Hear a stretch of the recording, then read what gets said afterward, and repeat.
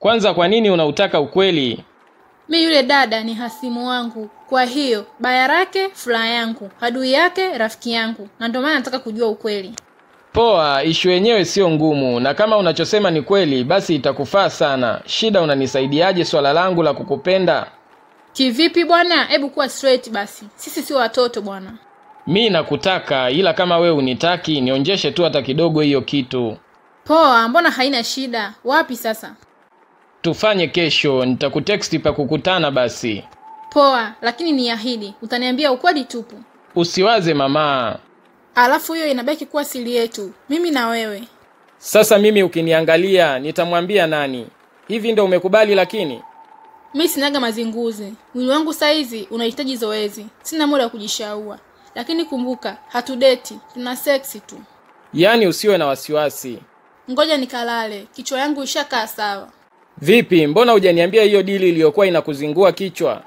Nimegundua nitafanya maamuzi mazuri kama nitasubiri mechi ya kesho ipite kwanza. Aa, kumbe nitakufurahisha hata usiwaze. Poa, usiku mwema.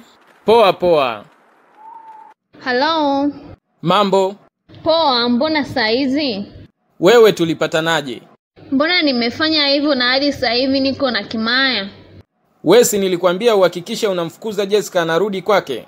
Ndiyo, lakini kumbuka yule ni ndugu yangu, siwezi kumwambia toka. Sawa, ila hivyo visa unamfanyia kweli? Mbona harudi huku? Leo rafiki yako kashinda kwangu. Jessica hata ndani hajatia mguu, kakaa nje. Sasa nashangaa unavyoniambia hajafika huko. Kwa hiyo Jessica kwako hayupo na sasa hivi upo na Kimaya? Ndo hivyo, Hebu mpe simu Kimaya. huyu hapa, kama uniamini. Oya Kimaya, niambie mambo vipi? Freshi tu. Vipi, anayosema huyo ni kweli? Kweli tupu, mi nipo hapa toka mchana sijatoka, na mara ya mwisho Jessica alikuwa nje. Kwa hiyo Jessica humo ndani hayupo? Sio ndani tu, hata nje hayupo. Sasa atakuwa wapi huyu? Hayo sisi hayatuhusu.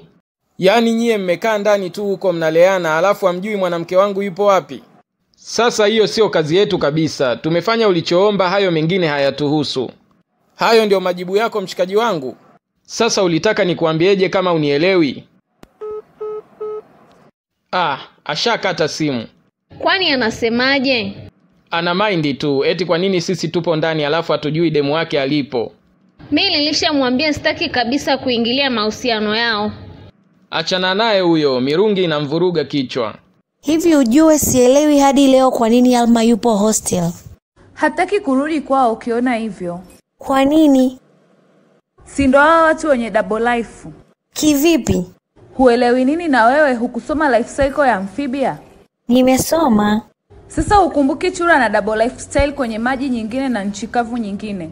Bado sijajua vinaingilianaje na Alma.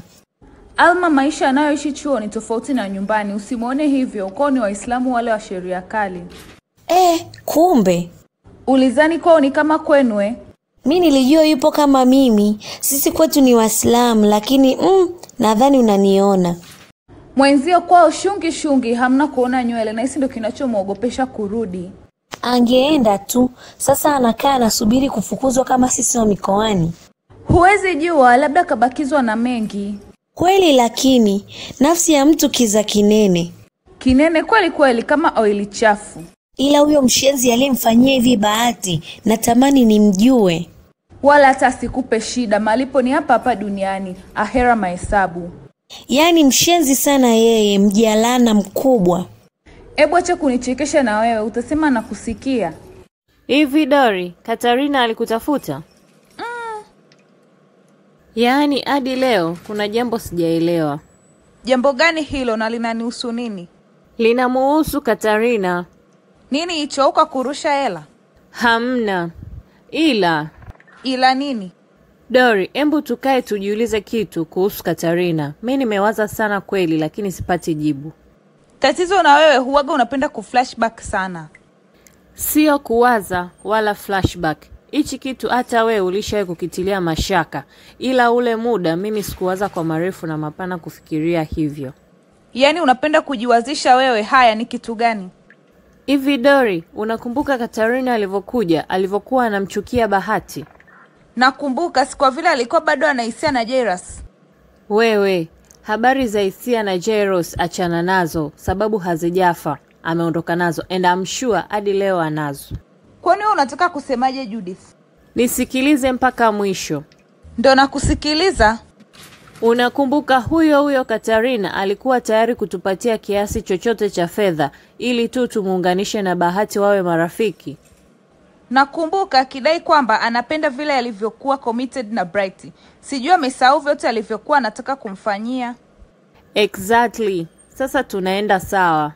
Ehe, endelea sababu nimeanza kukupata kwa mbali. Hapa katikati, baada ya kumuunganisha na Bahati, akatuficha kuhusu urafiki wake na Ibra. Unakumbuka? Tena hadi tukaja tukagundua analala na Ibra, anasingizia alikuwa analala kwa Bahati. Ndiyo, hadi wakawa wanafanya naye tua.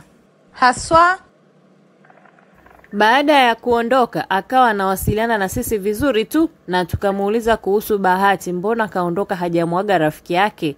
Akadai alichokuwa anakitaka Asha kipata.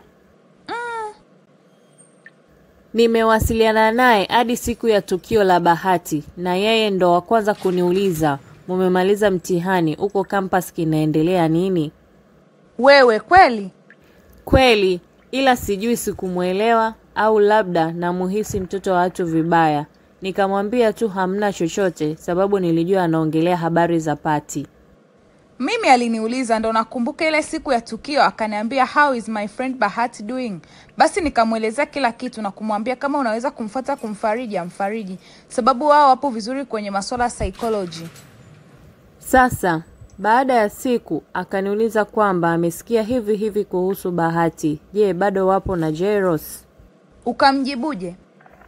Nikamwambia wako pamoja, tena Jairos ndo kwanza akampeleka akae kwake ili asichekwe. Basi akamaindi kweli, akasema Jairos yuko so stupid, yaani mwanamke wa Kiafrika akafanya vile na bado anamng'ang'ania. Vipi akipata magonjwa sijui nini? Akalalamika kweli na kuniambia nimshauri Jairos aachane na Bahati arudi kwao US. Besti yangu, embu nicheke kwanza. Hivi ungekubalije, ungemwingiliaje yule kijana hadi uanze kumshauri hivyo? We, naanzia wapi kukubali? Mi nilimwambia tu sina mazoea na jeros basi hasira zikahamia kwangu. Tena sisi ni maselfish, rafiki wa rafiki yetu anaangamia, anatuomba msaada, hatutaki kumsaidia, hatujali chochote zaidi ya pesa. Kwao yani ni makelele kibao, kama nimeficha pasipoti yake. Yeye yeah, anaona rafiki yake anahitaji msaada, si angepanda ndege akarudi? Umeona eh? Natoka siku hiyo hajanitafuta tena. Pole kwa yaliyokukuta. Hata hanistui, ila toka juzi nimekaa nikawaza usikute Katarina anahusika na lilomkuta Bahati. Inawezekana, lakini sababu alishawahi kudai mambo yake hayanaga haraka. Nilikuwa pembeni mwa chumba cha Nyanzobe leo, nimemsikia Bahati alivyoulia na jinsi alivyochanganyikiwa. Unajua anatia huruma wewe, Inawezekana mtoto wa watu kweli hajafanya. Na inawezekana kweli Katarina akawa anahusika na hili.